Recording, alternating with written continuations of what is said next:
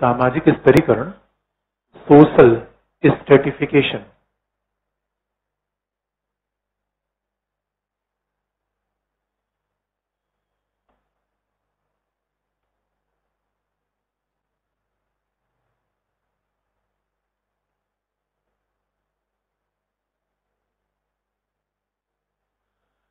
Social stratification सामाजिक स्तरीकरण। ये ये सोशल स्टेटिफिकेशन या समाज का बंटवारा समाज का विभाजन आप कैसे करते हैं? समाज के विभाजन के तरीके क्या है? समाज कैसे बांटा जाए? जैसे हमारे परंपरागत रूप में क्या जाति है धर्म है लिंग है।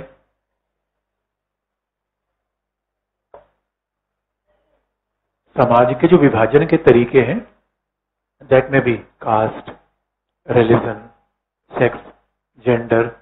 These are the basic parameters why which we, we how we divide a society. इस स्ट्रेटिफिकेशन का मतलब होता है हम समाज को किस तरीके से देखते हैं कैसे बांटते हैं बात ध्यान में रखने की है मार्क्स ने जाति को नहीं माना धर्म को नहीं माना यहाँ तक कि नेशन स्टेट को ही नहीं माना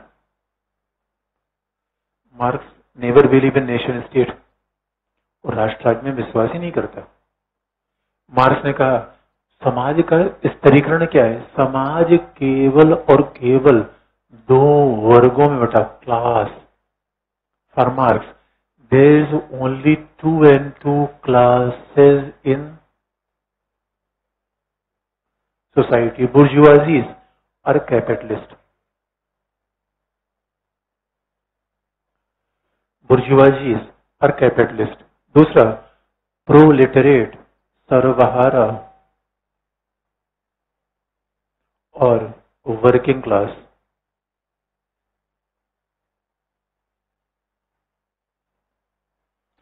society is divided in two and two classes वर्ग में बटा हुआ है समाज। जाति में नहीं है।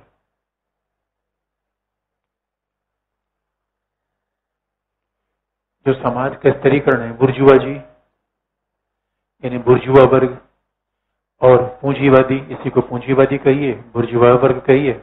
और ये क्या है? सर्वहारा वर्किंग क्लास श्रमिक वर्ग। और कई बार इसे कहा जाता है, हैब्स। हैब्स, इसे कहा जाए हैब्स नॉट।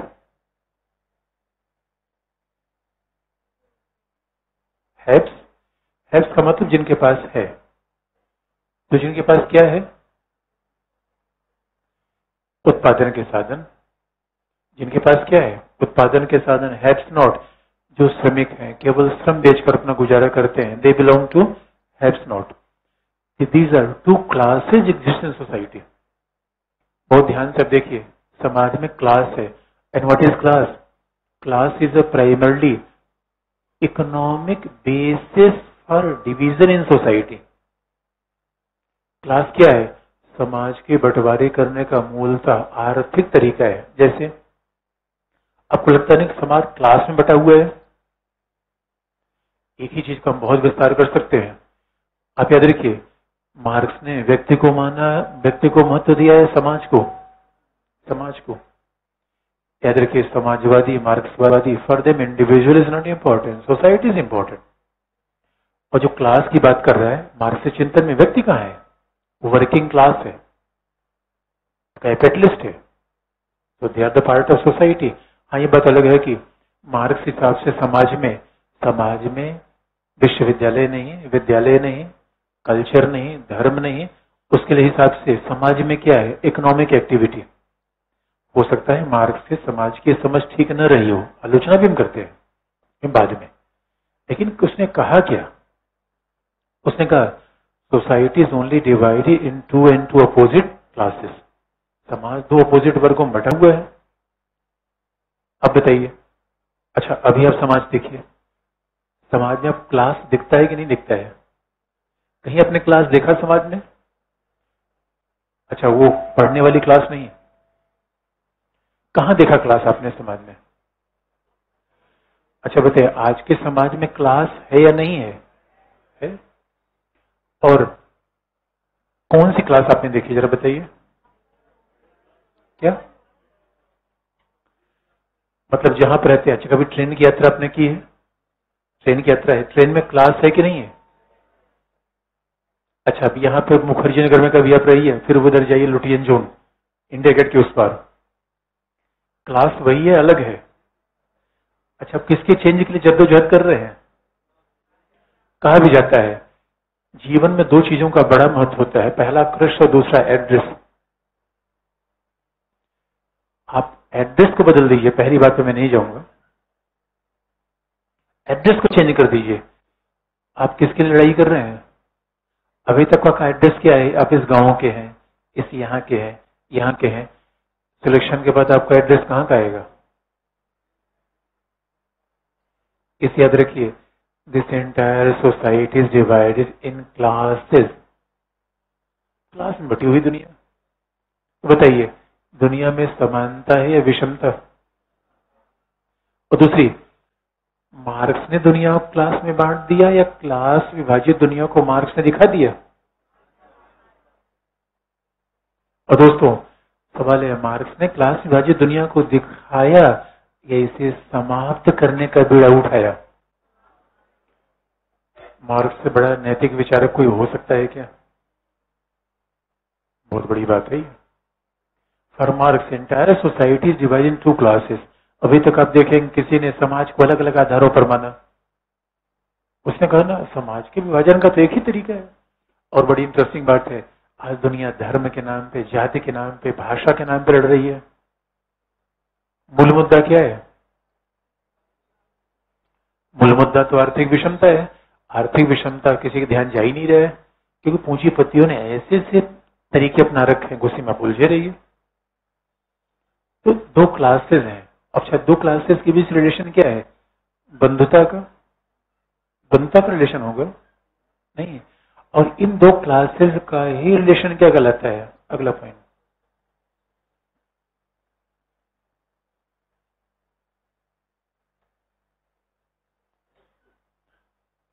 मार्क्स ने कहा,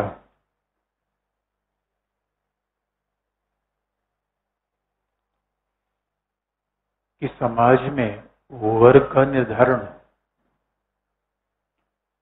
two classes are determine by the mode of the means of production समाज के दो वर्गों का निर्धारण आर्थिक व्यवस्था से होता है, या उत्पादन के साधनों के द्वारा निर्धारित होता है। It is determined by the means of production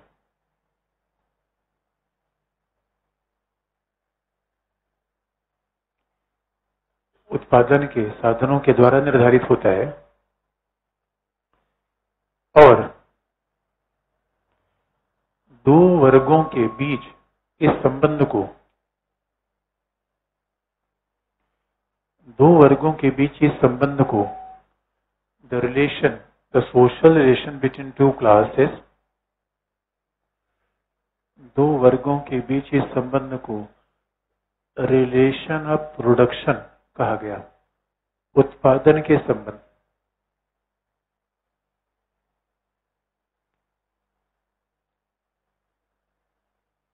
दो वर्गों के बीच इस संबंध को उत्पादन के संबंध या रिलेशन ऑफ़ प्रोडक्शन का नाम दिया गया।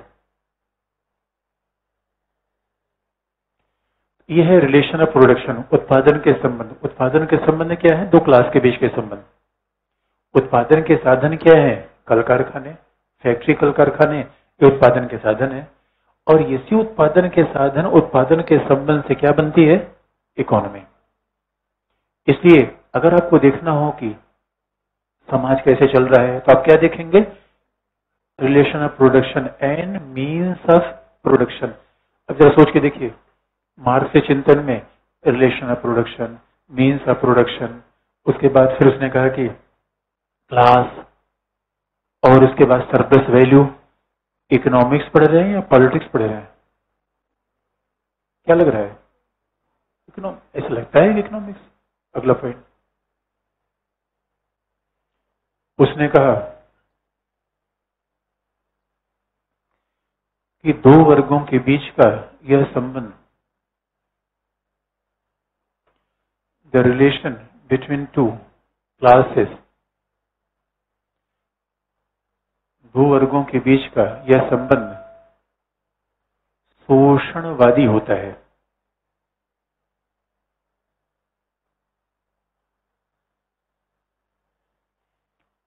दो वर्गों के बीच का यह संबंध शोषणवादी होता है।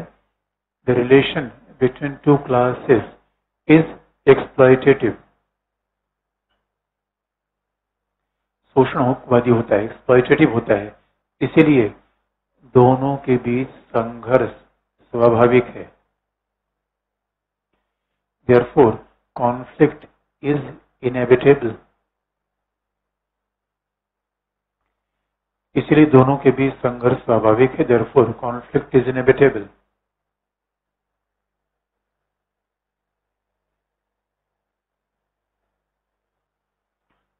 दोनों के बीच संघर्ष स्वाभाविक है, जिसका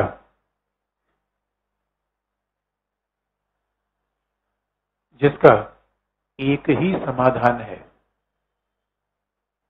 The only solution of this conflict is destruction of capitalism जिसका एक ही समाधान है, पूंजीवाद का विनाश।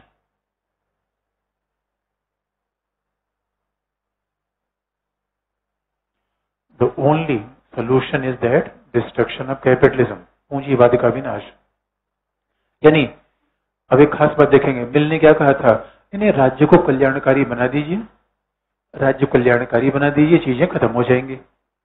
बड़ी इंटरेस्टिंग बात है। आज आज तो यही बात कही जाती है। अच्छा आज जब आप देखेंगे, लोग कहते हैं, सरकार क्या करेगी? चिंता की बात नहीं है। हम ट्रांसपेरेंसी लाएँगे। हम राइट टू इन्फॉर्मेशन लाएँगे।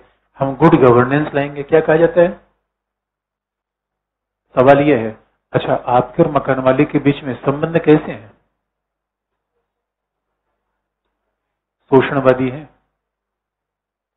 मतलब संबंध तो सीधे सीधे संबंध शोषणवादी है ऐसा वो संबंध प्रेम का हो ही नहीं सकता।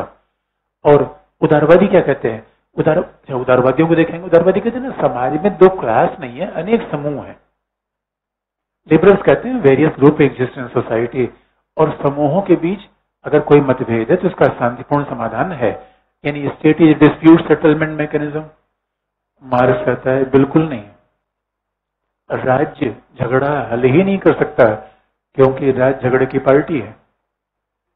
राज्य झगड़ा नहीं हल कर सकता, क्योंकि राज्य का अपना इंटरेस्ट है। राज्य का इंटरेस्ट कैसे है? अगला heading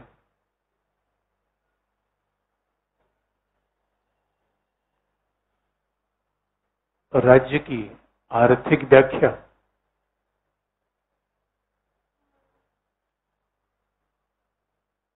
economic interpretation of state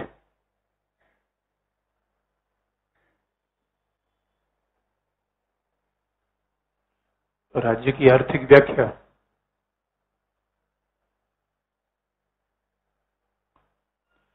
अच्छा बताइए, अब तक तो जितनी चीज़ें पढ़ चुके हैं बार बार आपका ध्यान उधर जाना चाहिए कंपेरिजन पे।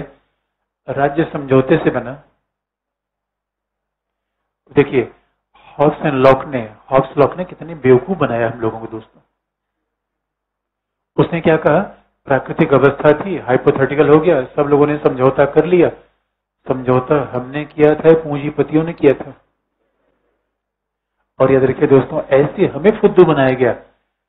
हम क्या कहते हैं? हमने संविधान बनाया, ओ माई गॉड, हमने संविधान बनाया। भारत के संविधान में क्या ले we the people of India made the constitution what a wonderful idea मुझे पता ही नहीं था मैंने संविधान बनाया, ये तो मैंने संविधान पढ़ के सुना। जो चीज़ हमने बनाई, उसी के बारे में हमें खबर नहीं दोस्तों।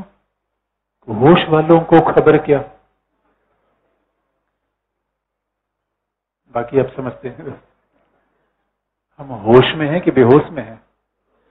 दोस्तों, प्लेटो ने कहा, हम अंधकार की गुफा में है। गुफा में तो है, लेकिन वो गुफा अंधकार की नहीं है, शोषण की है।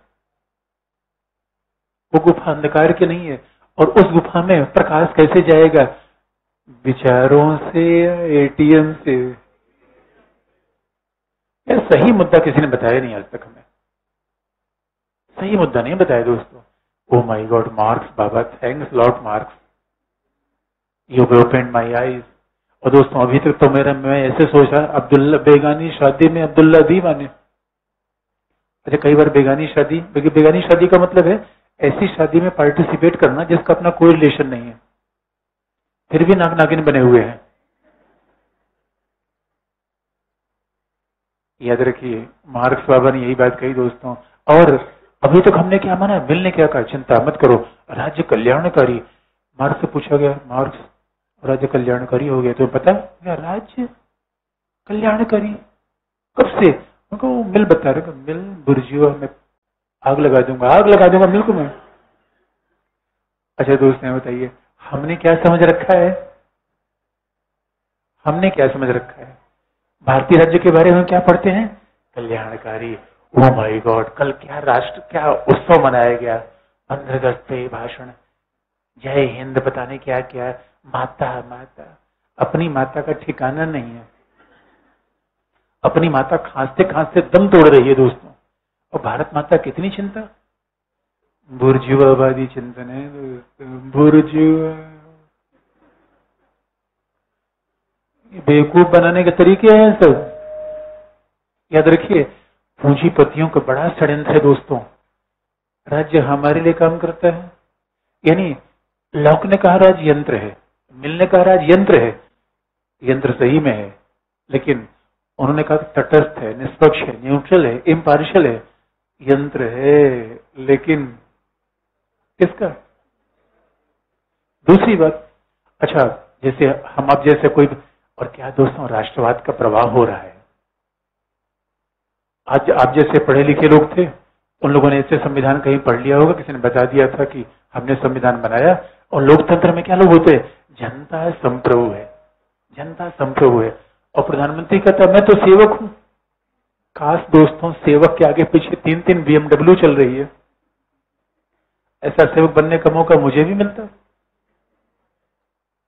सेवक है या फुद्दू बनाने का तरीका है।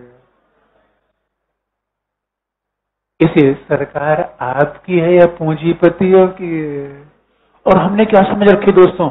जब जब संविधान पढ़ते हैं, विधि के समक्ष समानता आर्टिकल 14 अनुच्छेद 32 32 article 32 call remedies of const कोई कोई मुझसे पूछ भी रहा था कि सर ये अनुच्छेद 32 बता दो, हमने कहा बताएँगे, अभी जो पढ़ रहे हैं उसको पहले देखो। अनुच्छेद 32 मिल गया कभी यूज़ किया है बत्तीस? बत्तीस यूज़ किया है? थर्टी टू ले लो, कभी यूज़ कर नहीं पाओगे लॉलीपॉप है, चाटो। इस याद रखिए दोस्तों, मार्क्सवाद पढ़ना है। तो एक बार माओवादियों का दस्तावेज़ देख लीजिए। माओवादी क्या कहते हैं? सरकार को जलाने की बात करते हैं, विध्वंस की बात करते हैं, तोड़ने की बात करते हैं। क्यों? क्यों? क्यों तोड़ने की बात करते हैं? क्योंकि सीधी सी बात है, ये राज्य कल्याणकारी है या शोषण का यंत्र है? एन इंस्ट्रूमेंट ऑफ़ एक्सपर्टेशन है मारसना यंत्र तो है किसका यंत्र है पहला पॉइंट पहला पॉइंट अच्छा ये भी इंटरेस्टिंग पार्ट है मार्क से पहले हीगल जर्मनी में था ही तो हीगल से पूछा गया था ये बताओ भाई राज्य कैसे आया हीगल ने कहा तो ईश्वर की देन है state is a march of God on earth ये तो ईश्वर की देन है, ईश्वर ने यहाँ पैदा कर दिया राज्य को। और हीगल ने बड़े, अपने बड़े विचार थे कहा भी कि ईश्वर ने सोचा धरती पर आना है, और तो उन्होंने अपना एयरक्राफ्ट लिया, और ईश्वर पहले उड़ रहे थे भारत और चीन के ऊपर से। तो पायलट ने कहा कि, सर, यहाँ जहाज़ उतारे। ईश्वर ने कहा, नहीं, ये ठीक जगह नहीं है। ईश्वर का एयरक्राफ्ट पहली बार उतरा ग्रीक एज में, एथेंस में। ईश्वर थोड़ा नाश्ता उस्ता किया, ईश्वर घूमे नीचे। और ईश्वर ने देखा, ईश्वर ने कहा यार, यहाँ तो स्लेब्स हैं। इस मीन्स यहाँ पे तो आज़ादी नहीं है। चलो, यहाँ से उड़ते हैं। तो पायलट विमान उड़ाओ उड़ा दिया। उसके बाद एयरक्राफ्ट गया रोम में। देखो रोम में बड़ा भक्ति में माहौल था। पायलट ने कहा सर विमान उतारे। ईश्वर ने कहा, उतारो। तो देखते हैं क्या माहौल है। ईश्वर ने फिर थोड़ा लंच और किया घूमे टहले। उन्होंने कहा यहाँ भी मामला गड़बड़ है। बड़ा धर्म का प्रभाव कुछ ज़्यादा ही है। आज़ादी कम है। पायलट ने कहा, सर विमान उड़ाए। कहा, उड़ाओ। तो कहाँ उतारना का जर्मनी में। यानी हीगल ने कहा कि जर्मनी में ही ईश्वर उतर गए। उसी देश का नागरिक हीगल ने कहा कि धरती पर ये राज्य नहीं है, ईश्वर है। मार्क्स ने, मार्क्स से बताकर हीगल साहब ने ऐसा कहा हीगल मूर्ख था। ईश्वर है ना? क्योंकि याद रखिए दोस्तों, ईश्वर क्या है? शोषण का दूसरा रूप। अब अब डर क्यों गए हंसने से? क्योंकि आपको लगा, यार, ईश्वर नाराज़ हो गया तो? ईश्वर है क्या? दोस्तों, ईश्वर क्या है? आत्मा विहीन दुनिया की आत्मा। कम कमाल की बात है दोस्तों, आदमी तो इस देखिए, क्या पूंजीवादी चिंतन आ गया। जिस देश में गरीबी हो, बीमारी हो, भुखमरी हो वहाँ उतने शानदार मंदिर और मस्जिद। मंदिर मस्जिद गुरुद्वारे बनाने की आवश्यकता है या लोगों को रोटी, कपड़ा, मकान देने की आवश्यकता है? मिल गया भारत में सबको? और हमने क्या बनवाया? अक्षरधाम। ईश्वर को कंक्रीट के जंगलों में बैठा दिया। ईश्वर तो है ही नहीं है। ईश्वर है नहीं, पूंजीपतियों ने बनाया, जैसे राज्य बनाया। बहुत बना दिया दोस्तों। इसलिए ये सब जो प्रचंड, ये सब राज्य खूब बढ़ावा देता है। चलो, कांवरियों की यात्रा, कांवरियों कांवरियों की यात्रा जाएगी तो लोग रोज़गार नहीं मांगेंगे। कम से कम एक महीने तो वहाँ भूले रहेंगे।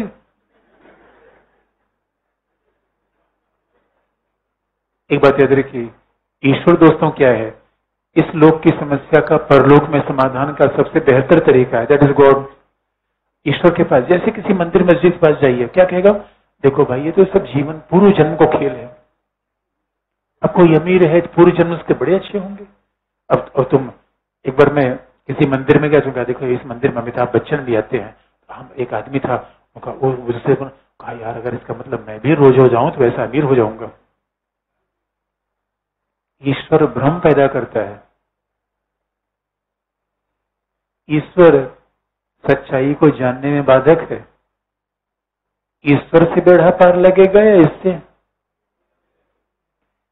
इसने ईश्वर को बनाया, ईश्वर ने इसको बनाया।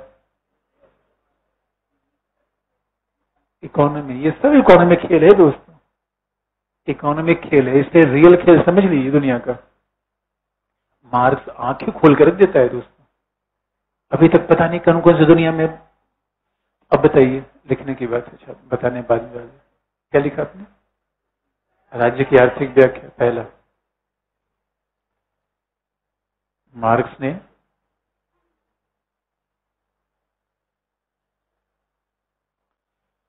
मार्क्स ने कहा कि राज्य शोषण का एक यंत्र है। Marx said that it is an instrument of exploitation ये शोषण का एक यंत्र है।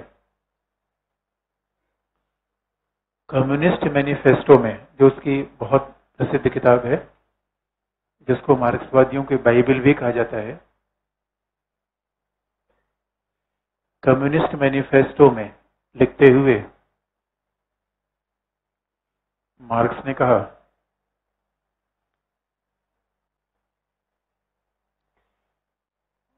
While writing in Communist Manifesto, Marx said that Communist Manifesto में लिखते हुए मार्क्स ने कहा कि राज्य बुर्जुआ वर्ग की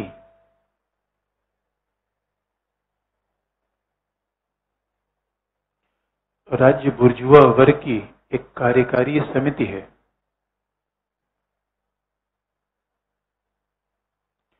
राज्य बुर्जुआ वर्ग की एक कार्यकारी समिति है। State is an executive agency of the bourgeoisie class राज्य बुर्जुआ वर्ग की कार्यकारी समिति है। इसका वो सामान्य भाषा मतलब बता दे। तो राज्य है क्या? अबानी अब अंबानी, अदानी, ये सब सब सब लोगों का समूह क्या है? राज्य है। बुर्जुआ वर्ग की कार्यकारी समिति है। अगला पॉइंट राज्य शोषण का एक यंत्र है। It is an instrument of exploitation शोषण का एक यंत्र है, यंत्र अंडरलाइन लेकिन शोषण। राज्य शोषण के यंत्र है, जो जो समाज के वर्गीय विभाजन का परिणाम है।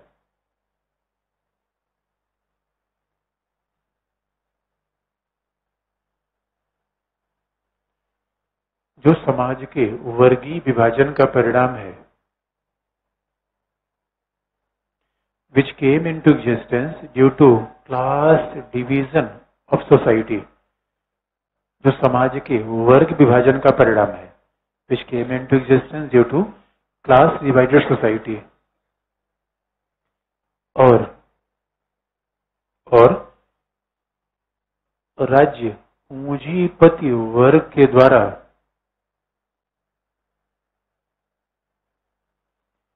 state is up by the bourgeoisie class. राज्य पूंजीपति वर्ग के द्वारा स्थापित किया गया।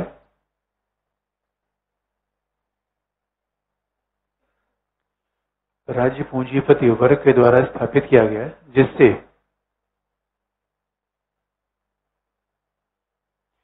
जिससे पूंजीपति वर्ग की प्राइवेट प्रॉपर्टी की रक्षा की जा सके। Which can protect the private property of the capitalist class. जिससे पूंजीपति वर्ग के प्राइवेट प्रॉपर्टी की रक्षा की जा सके। Private property underline which can protect the private property of the bourgeoisie class इसलिए राज्य कभी भी कल्याणकारी नहीं हो सकता।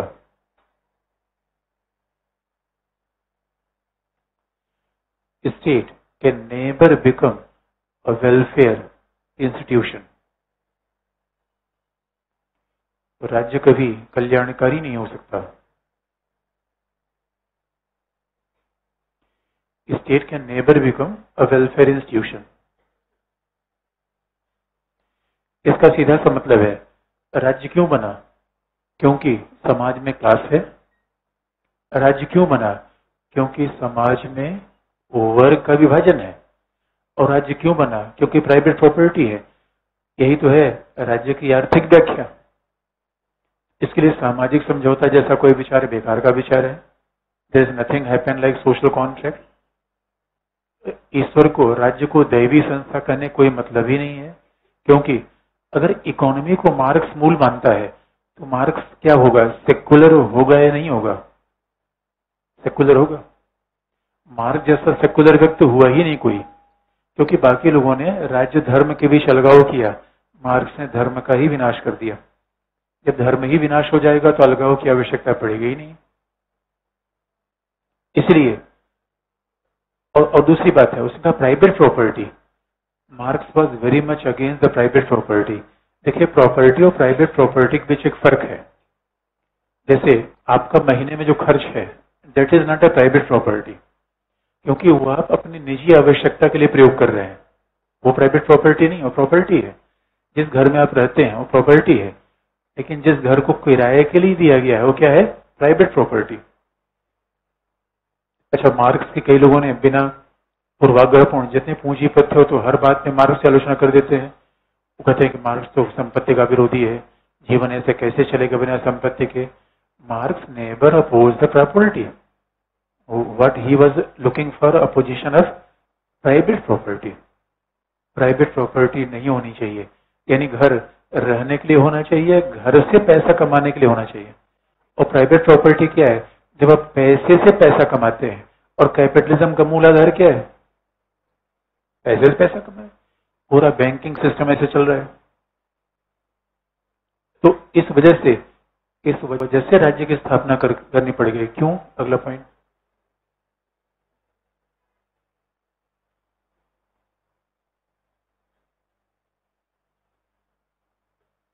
मार्क्स ने कहा,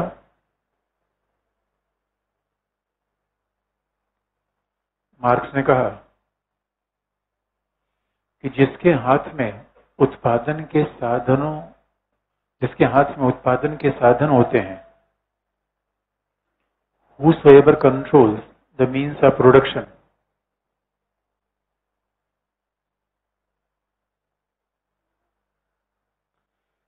जिसके हाथ में उत्पादन के साधन होते हैं उसी का राज्य सरकार पर नियंत्रण होता है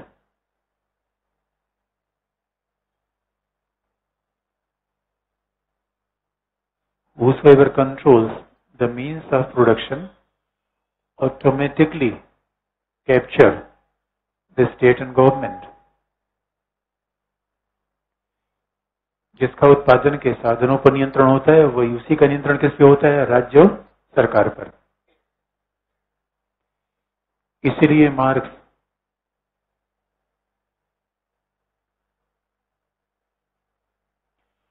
राज्य और सरकार के विनाश की बात करता है। Is also looking for the destruction of state and society sorry state and government not society वह राज्य और सरकार के विघटन की बात करता है।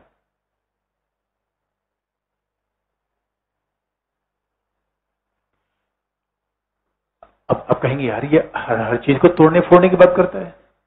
क्योंकि याद रखिए, एक बार जैसे ही पूंजीवाद खत्म हुआ, सब चीज़ें अपना खत्म हो जाएँगी। एक बार जैसे पूंजीवाद खत्म हुआ सब चीज़ अपने आप खत्म हो जाएगी, बाकी खत्म करने की आवश्यकता नहीं पड़ेगी।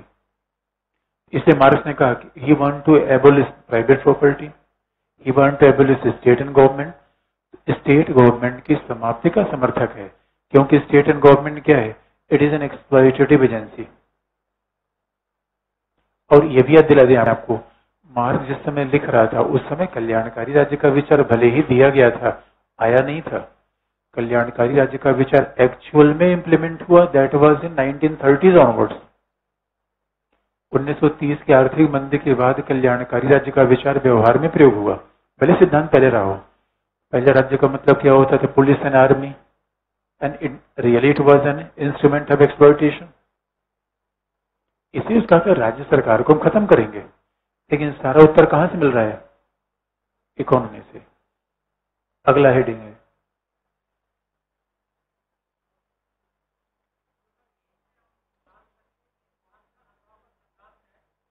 वो तभी आएँगे। अलगाववाद क्या है? आएँगे उस पर यहाँ से इसका उत्तर नहीं मिलेगा। अभी आएँगे उस पर अगला। नहीं, यहाँ से नहीं। अगला हेडिंग है।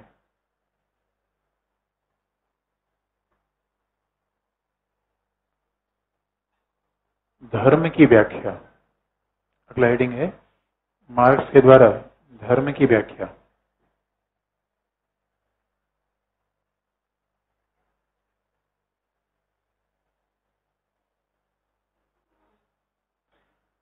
मार्क्स के द्वारा धर्म की व्याख्या। पहला, मार्क्स एक भौतिकतावादी विचारक है। The religious interpretation of Marx और for Marx interpretation of religion for Marx interpretation of religion for Marx तो मार्क्स भौतिकवादी है। Marx is a materialist. Marx भौतिकवादी है क्योंकि क्योंकि अर्थव्यवस्था को केंद्रीय महत्व प्रदान करता है।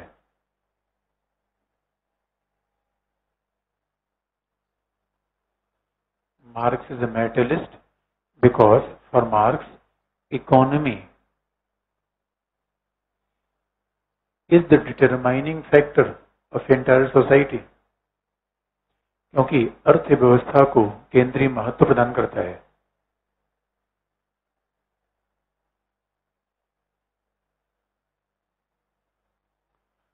और उसके विचार उसके विचार फायर बाग के भौतिकवादी विचारों से प्रभावित हैं। Marxian idea is influenced by the materialist thought of Feuerbach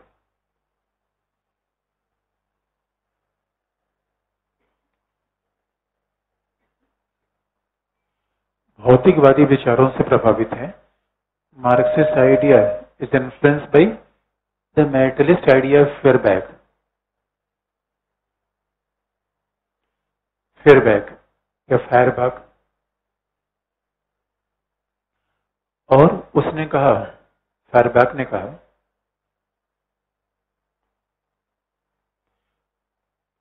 फायरबैक ने कहा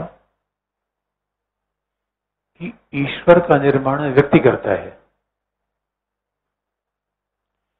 Feuerbach said that the God is made by individuals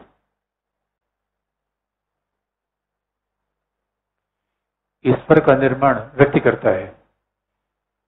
न कि ईश्वर व्यक्ति का निर्माण करता है। Feuerbach said that individual the God rather than God created the human being.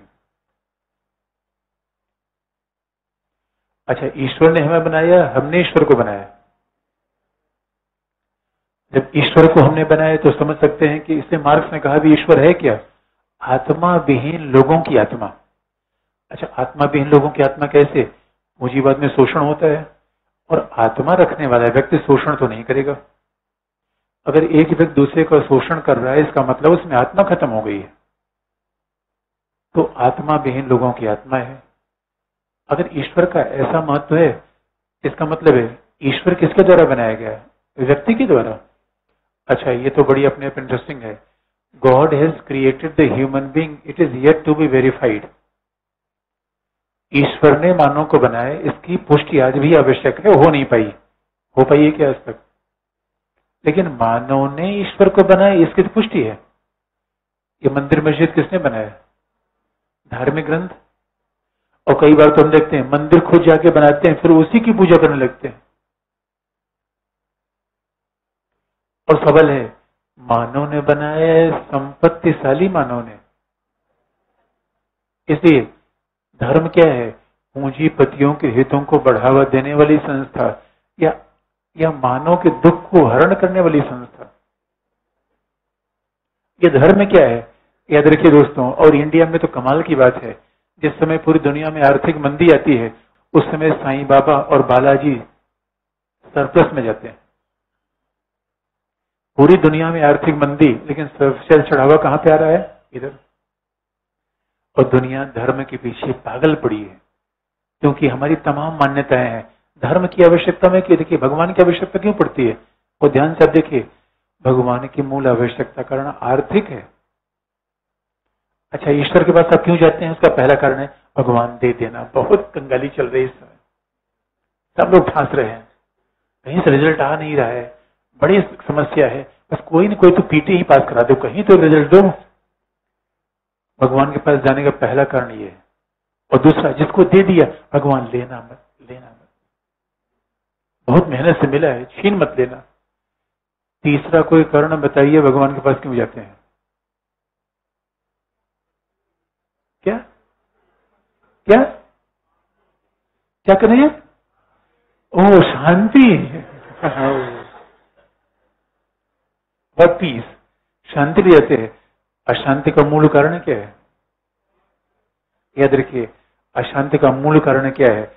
रोज़गार मिल नहीं रहा है। जो काम करना चाहते हैं, करने नहीं दिया जा रहा है। पार्टनर अपना कोई मिल नहीं पा रहा है। अशांति का मूल कारण यह है।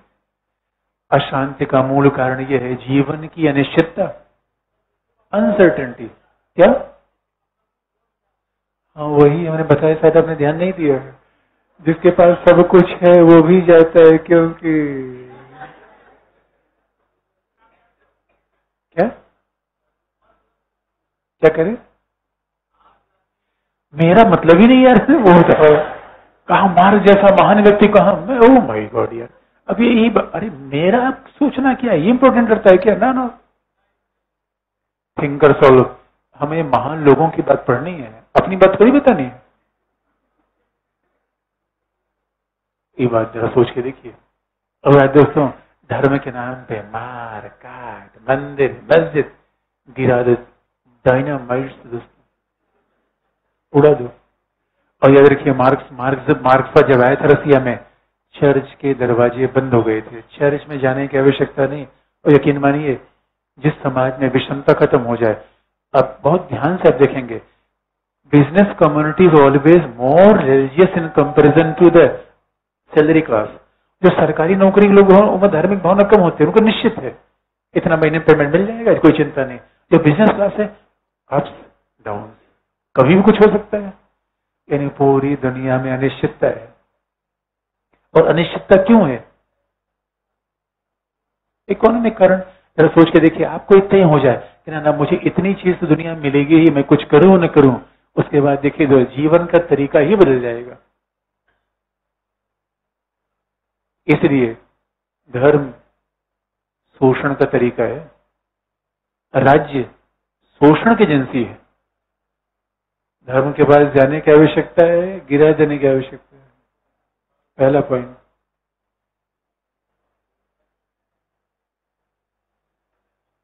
क्या लिखा आपने? अच्छा एक एक बात ये भी देखेंगे जितने पूंजीपति हैं ऐसा सारा मंदिर मस्जिद कौन बनवाता है? पूंजीपति। अरे आम आदमी के पास तो अपने घर बनवाने का पैसा नहीं है। और जो मंदिर मस्जिद बनाता है, श्रमिक, उसको वो अपना घर नहीं बनवा पाता। और मंदिर में बनाए तो भव्यता दी जाती है। भव्यता भी लोगों को डराती है। उसको ऐसी भव्यता दे दी जाएगी। अरे भाई, भगवान है, ये भगवान है, ऐश्वर्य है। सीधी सी बात है। पूंजीपतियों का ऐश्वर्य है, भगवान का ऐश्वर्य तो हम कहा गए दोस्तों? यकीन मानिए, मार्क्स भगवान का विरोधी था, या मानव को भगवान बना देना चाहता था। What a humanist philosopher Marx उससे बड़ा तो शायद मानवतावादी पैदा ही नहीं हुआ। उससे बड़ा तो नैतिकतावादी पैदा ही नहीं हुआ। मजदूरों को मजदूर दिला देना चाहता है या फैक्ट्री का मालिक? दोस्तों, आज तक वंचित दलित समाज के सबसे हाशिए पर रहने वाले लोगों की बात किसने कही? ये मार्क्स है, या सर्वहारा का मसीहा? प्रॉफिट ऑफ़ प्रोलिट्रेट आज़ादी, मिलने क्या? आज़ादी आज़ादी रोटी, कपड़ा, मकान, आज़ादी, क्या करेंगे आज़ादी लेके? आर्टिकल 19 ले लो आर्टिकल 19 आज़ादी तो सोशल मीडिया, व्हाट्सएप, फेसबुक, सब बेकारी चीज़ें हैं। मेन चीज़ क्या है? इसलिए, यहाँ मामला छुपा हुआ है, यहाँ। तेज तो यहाँ फंसा हुआ है। और हम देखते कहाँ हैं? आपने विक्रम बेताल का भी देखा था सीरियल? तो विक्रम के ऊपर बेताल अटका होता था, बेताल के ऊपर विक्रम। तो विक्रम को समझेंगे पहले या बेताल को? विक्रम। इसे इकोनॉमी समझिए, सारा ज्ञान हो जाएगा, लिखने की बात। पहला पॉइंट पहला। मार्क्स ने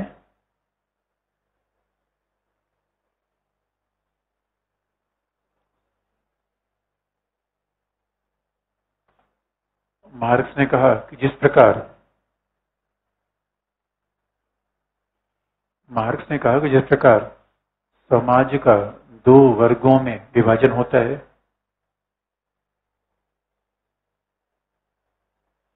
Marx said that just like a society is divided into opposite classes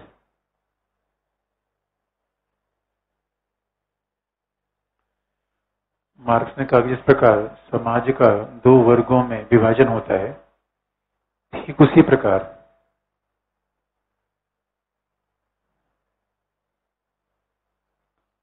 ठीक उसी प्रकार भौतिक दुनिया।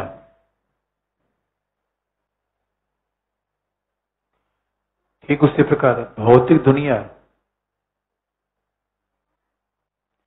और ईश्वरीय दुनिया का विभाजन होता है। Similarly, material and spiritual world is divided.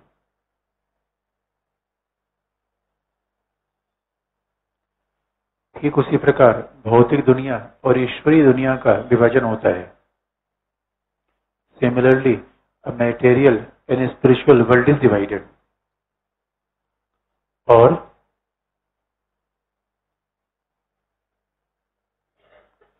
और मार्क्स ने धर्म को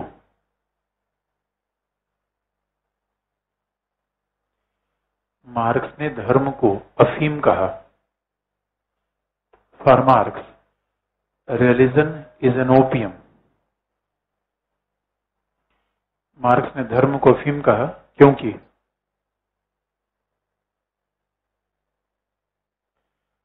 क्योंकि धर्म का प्रयोग करके।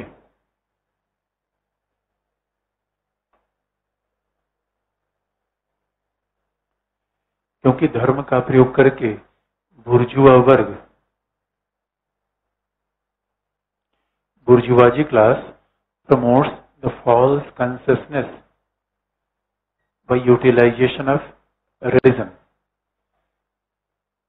बुर्जुआवादी वर्ग धर्म का प्रयोग करके मिथ्या चेतना का निर्माण करता है bourgeoisie class utilise the religion for promoting the false consciousness.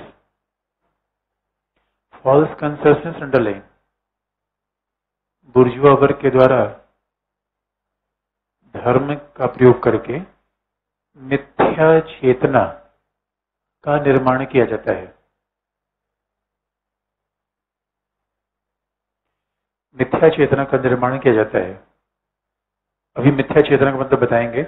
Even religion is a tool a promotion of false consciousness, and that tool is utilized by the bourgeoisie class अगला। मार्क्स ने कहा कि धर्म की आवश्यकता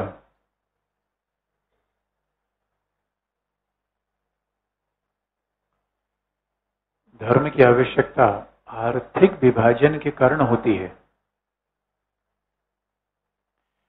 या निजी संपत्ति के कारण उत्पन्न होती है। The religion emerge due to emergence of private property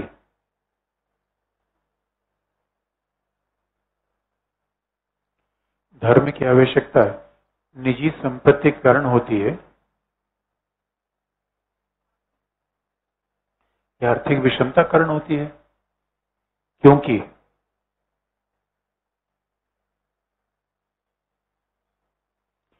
क्योंकि आर्थिक अभावों को पूर्ण करने के लिए for fulfilling the economic necessities क्योंकि आर्थिक अभाव को पूर्ण करने के लिए for fulfilling the economic necessities आर्थिक अभाव को पूर्ण करने के लिए लोग एक पारलौकिक विश्व की कल्पना कर लेते हैं।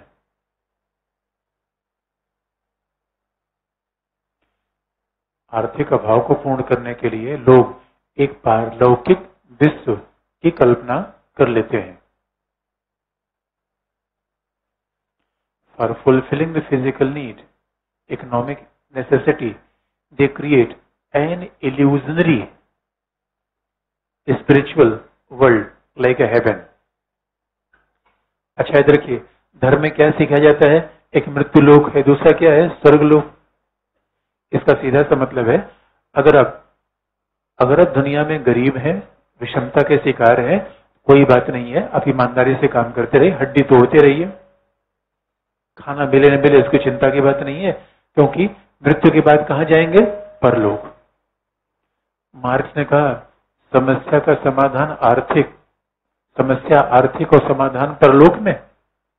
उसने कहा, समस्या अगर इस जगत की है, समाधान यहीं पे मैं करूँगा। उसने कहा रियल वर्ल्ड इज़ है मैटेरियल यानी मूल समस्या क्या है? आर्थिक है।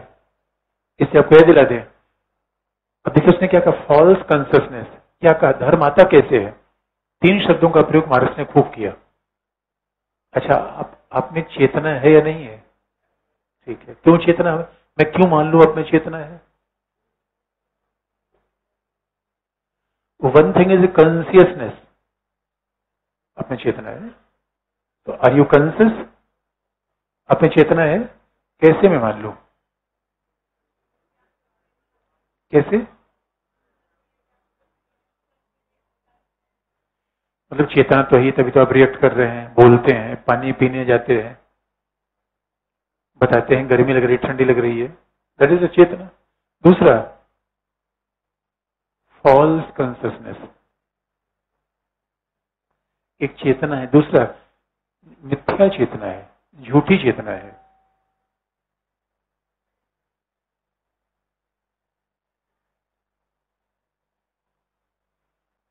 अच्छा चेतना क्या है? ये क्या है? वायर, तार है। ये किसी को सांप जैसा दिख रहा है? अगर ऐसा दिख जाए तो? फॉल्स कॉन्सियसनेस यानी मेराज आपने देखा होगा कि मृग मरीचिका अगर रेगिस्तान में जाइए मृग मरीचिका दिखती है, होती नहीं। वट इज़ फॉल्स कॉन्सियसनेस कई बार ऐसा होता है, मैं किसी अपने पार्टनर को ढूंढना चाहते हैं। पार्टनर है नहीं, दूसरे में दिखाई दे रहा है। कई बार उसमें बड़े धोखे हो जाते हैं। So that is false consciousness याद रखिए, अब बताइए, आप में क्या है? कंसियसनेस है फॉल्स कंसियसनेस है? क्या? में फॉल्स कंसियसनेस है अच्छा मिथ्या चेतना है। क्या है? क्या है? चेतना है, मिथ्या चेतना है।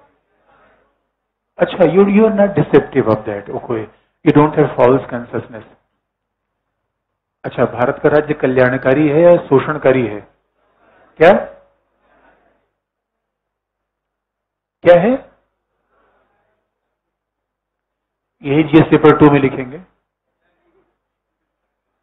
भारत के राज्य के बारे में क्या लिखेंगे? ये क्या है। फॉल्स कंसियसनेस यानी राज्य का स्वरूप कल्याणकारी मान लेना। फॉल्स कंसियसनेस ईश्वर को मान लेना। क्या है? इसलिए फॉल्स कॉन्सियसनेस है या अफीम की लत है। लेकिन नशीले पदार्थ की विशेषता क्या होती है? आपको जो जो नहीं दिखना चाहिए, वो दिखता है। एक बार मैं कहीं होली पे जा रहा था तो किसी व्यक्ति ने खंभा पकड़ लटका था। खंभा पकड़ के बड़बड़ा रहा था मैं कहा गया हूँ, कहा गया हूँ। और जैसे मैं उधर मैं मुझे बड़ी तेज से पकड़ने दौड़ा, मैं भागा वहाँ से। उसने कहा, मैं हूँ कहा? मैंने कहा, जहाँ भी हो सही हो तुम।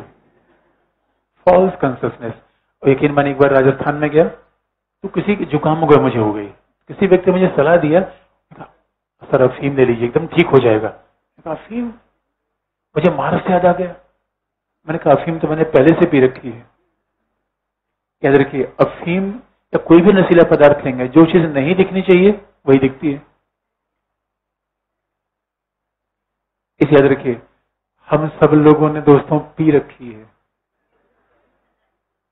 यानी याद रखिए, पीने के लिए मधुशाला में जाने की आवश्यकता नहीं है। कई तरीके से पिलाया जाता है। और पूंजीवाद पिला रहा है दोस्तों। विचारों से भी पिया जाता है, विचारों से भी पिलाया जाता है। और मार्क्सवाद ने ऐसा फॉल्स कंसेप्शन पैदा कर दिया है, लोग कह रहे हैं, संविधान हमने बनाया। आपने बनाया? अच्छा दूसरा, राज्य कल्याणकारी है। ये क्या है? फॉल्स कॉन्सियसनेस तो ये आँख पे जो पड़ा हुआ पर्दा है, आँख पे जो पड़ा हुआ पर्दा है, वो हटेगा या रहेगा ऐसे ही? कैसे हटेगा? कैसे हटेगा? मार्क्स पढ़ने के बाद। और याद रखिए, जब पर्दा हटेगा तो क्या होगा? क्लास कंसियसनेस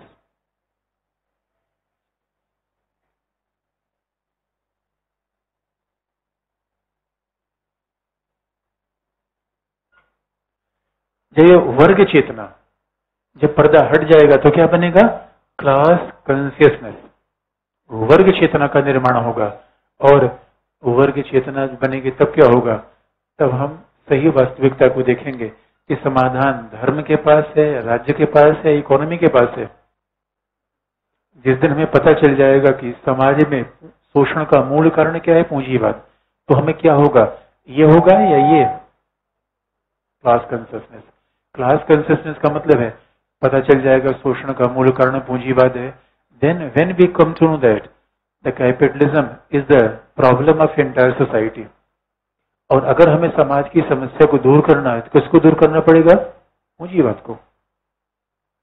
पूंजीवाद का विनाश करना पड़ेगा। डिस्ट्रक्शन ऑफ़ कैपिटलिज्म यह क्लास कॉन्सियसनेस इसे मार्क्स मजदूरों में क्या उत्पन्न करना चाहता था? क्लास कॉन्सियसनेस और धर्म क्या करती है? धर्म क्लास कॉन्सियसनेस को दबाती है। इसे धर्म का विरोधी था। इसे धर्म का विरोधी था। अगला पॉइंट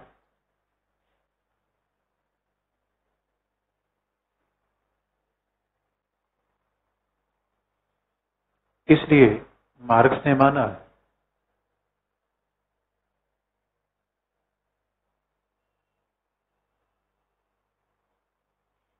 इसलिए मार्क्स ने माना कि धर्म भी शोषण को बनाए रखने का एक माध्यम है। Religion is also an instrument for furthering the exploitation धर्म भी शोषण को बनाए रखने का एक बेहतर माध्यम है। Religion is also an instrument for furthering the exploitation जो मिथ्या चेतना पैदा करता है। Which promotes the false consciousness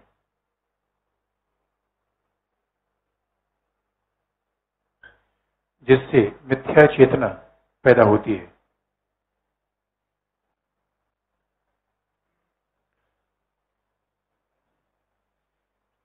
जिससे मिथ्या चेतना पैदा होती है। अब अगला हेडिंग है। अगला हेडिंग है। विचारधारा आइडियोलॉजी इन मार्क्स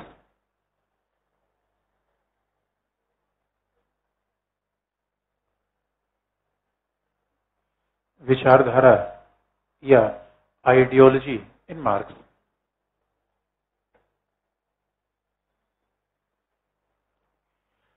अब देखिए, एक एक सवाल का जवाब हम लगातार ढूंढते चले आ रहे हैं। अब की Marx for the great philosopher philosopher भी था, वो सारी बातों कहता भी था, उसको प्रैक्टिस भी करता था।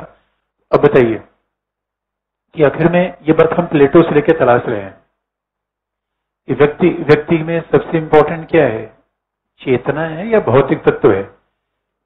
विचार का महत्व ज़्यादा है या परिस्थितियों का महत्व ज़्यादा है?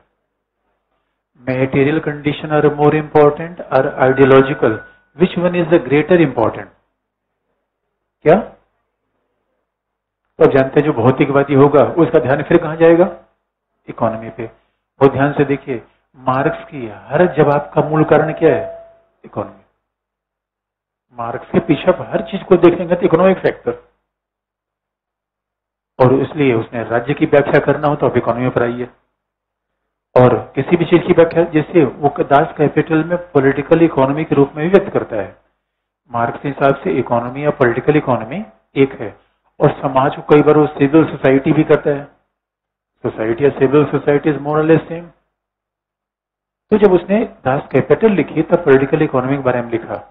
और उसके हर केंद्र में एक ही चीज़ आ रही है इकोनॉमी अब अभी तक जो हमने बताया उसमें यही पता, पता चलता है।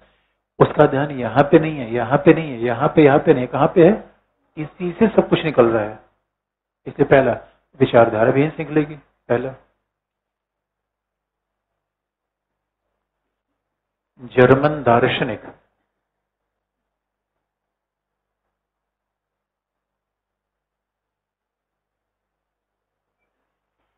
जर्मन दार्शनिक हेगल का प्रसिद्ध कथन है।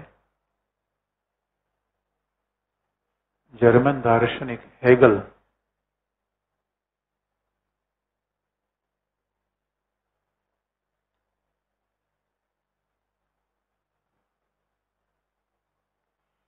जर्मन दार्शनिक हेगल का प्रसिद्ध कथन है कि चेतना या कंसनेस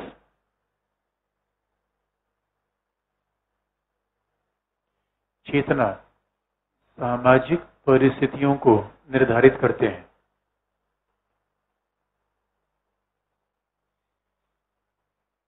The famous statement of German philosopher Hegel said that consciousness determine the social conditions. Chetna consciousness determine the social condition यानी चेतना परिस्थितियों को निर्धारित करते हैं। चेतना हमारी सामाजिक परिस्थिति का निर्धारण करने वाले होते हैं। यानी बात सीधे कहे, विचार दुनिया को बनाता है। चेतना मतलब विचार आइडिया अगला, जबकि जबकि मार्क्स ने कहा,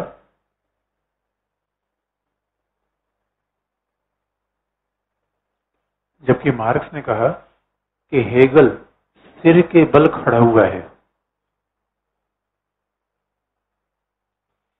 Hegel is standing upside down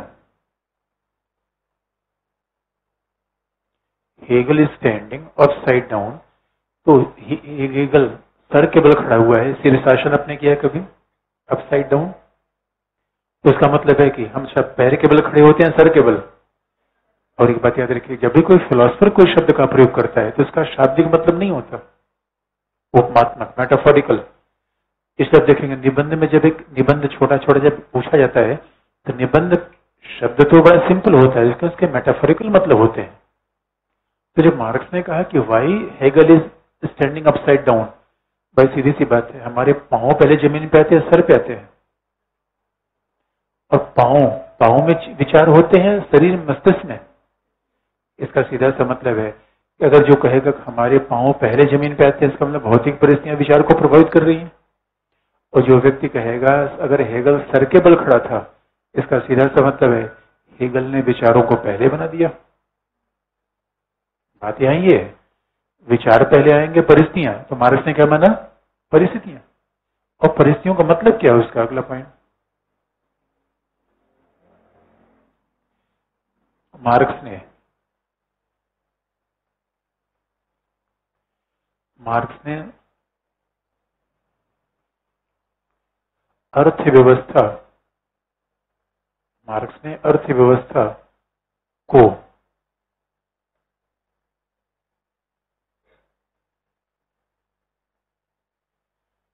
अर्थव्यवस्था को राजनीतिक अर्थव्यवस्था के रूप में भी चित्रित किया है। मार्क्स ने अर्थव्यवस्था को राजनीतिक अर्थव्यवस्था के रूप में भी चित्रित किया है। For Marx, economy means political economy. Marx ने अर्थव्यवस्था को राजनीतिक अर्थव्यवस्था के रूप में भी चित्र किया है। और उसके अनुसार, और उसके अनुसार सामाजिक परिस्थितियाँ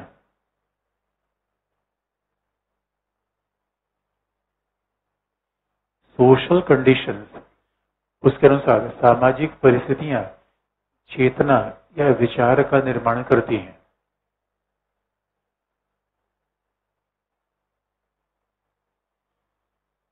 Social conditions shapes the consciousness or ideology. सामाजिक परिस्थितियाँ, विचार या चेतना का निर्माण करती हैं।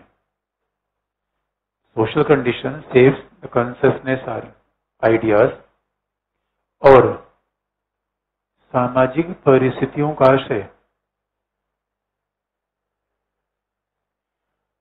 और सामाजिक परिस्थितियों का आशय the social conditions means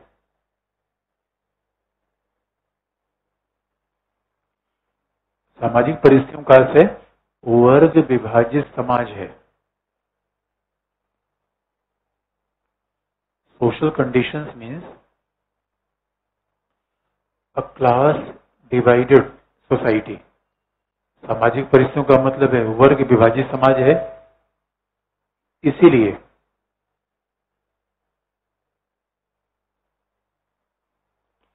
इसलिए पूंजीपति वर्ग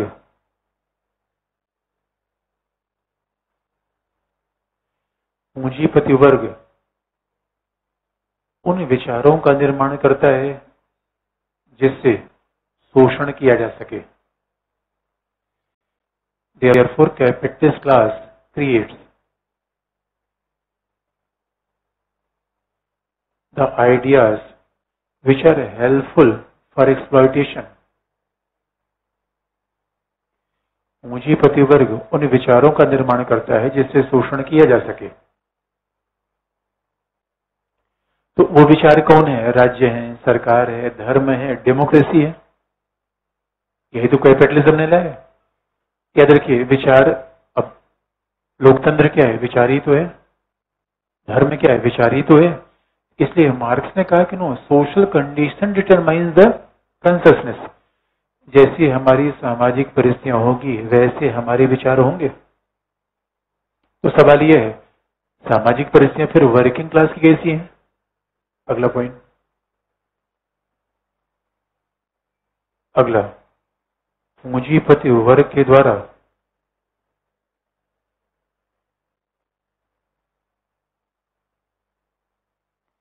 पूंजीपति वर्ग के द्वारा धर्म, संस्कृति, विचारधारा धर्म, संस्कृति, विचारधारा का निर्माण किया जाता है। Capitalist class create realism culture ideology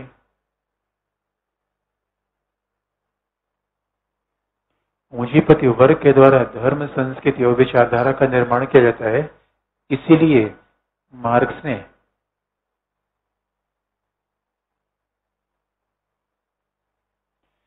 इसलिए मार्क्स ने विचारधारा को भी मिथ्या चेतना कहा है। Therefore, ideology is a false consciousness.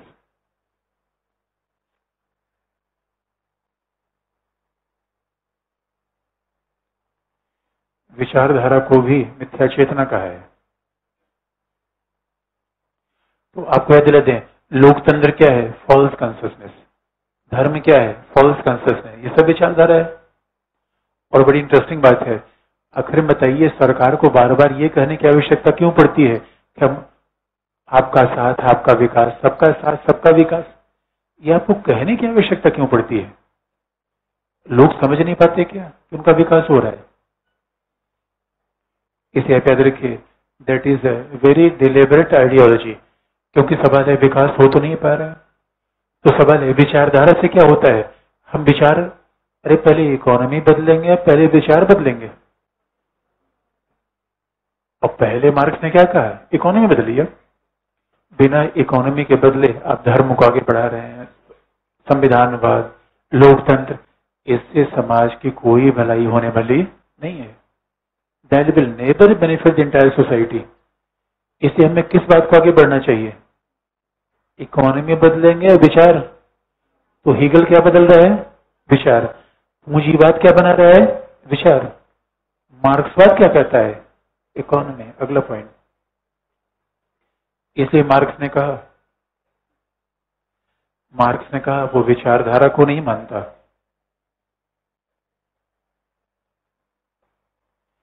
Marx ने कहा, वो विचारधारा को नहीं मानता, क्योंकि वह वैज्ञानिक है।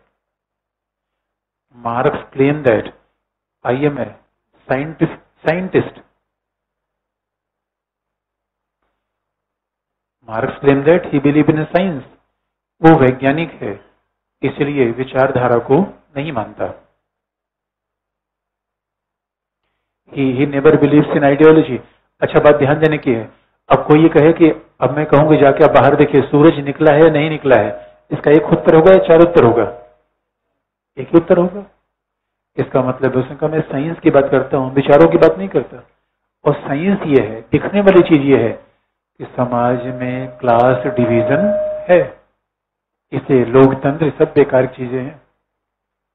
तो फिर आखिर में उसने अभी तक तो समस्या बताई। समाधान कैसे बताया? कल। लेकिन आपको यह दिला दें कि आज अब कल आप, हम क्वेश्चन नहीं देखेंगे क्वेश्चन दिखाने के लिए मंडे को आइएगा, क्योंकि मैं टेस्ट था पेपर बनाने हैं। तो आज कल आप मत आइएगा। मंडे को क्वेश्चन जिसको दिखाना है मंडे को आप आ जाइए। कल कल सेम टाइम एट थर्टी कल भी क्लास होगी आपकी एट थर्टी